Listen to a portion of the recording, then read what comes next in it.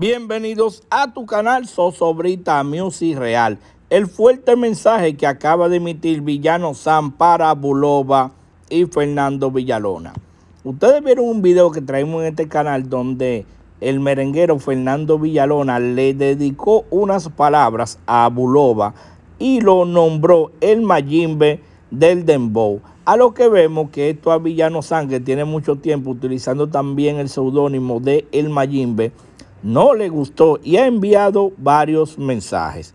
Dice Villano San, Villano San, Tony Stone, el tío San, Quinky Sanque, Mayimbe de Mayimbe, artista, compositor, productor musical, videógrafos, corita, 3D, artista, Faintor Programmer, desarrollador de página web, el trainer, Bulobaba, el Mayimbe del Dembow, intérprete de composiciones ajenas, como para ustedes eso es ser un Mayimbe. Pues desde hoy me arrepiento de haberme puesto ese nombre. Eso está cualquierizado. Luego dijo lo siguiente, el Mayimbe hasta se le había pasado que el Sopenco estuviera ahí en la escena. ¿Por qué será, Lul? ¿Será porque no es relevante?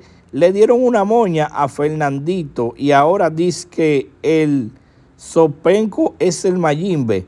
Como que un coach de béisbol diga, el mejor de literatura es fulano.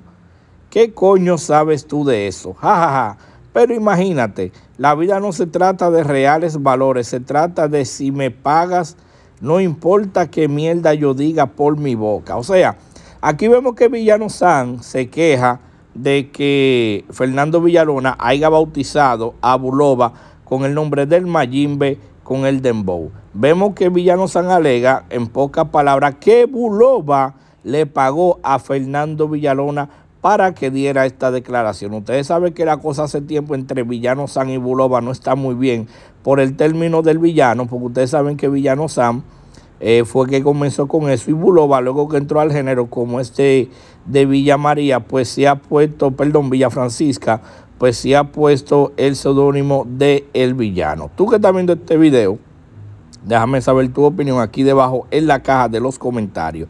Recuerda suscribirte y activar la campanita de notificaciones. Y recuerda que Dios te bendiga en grande.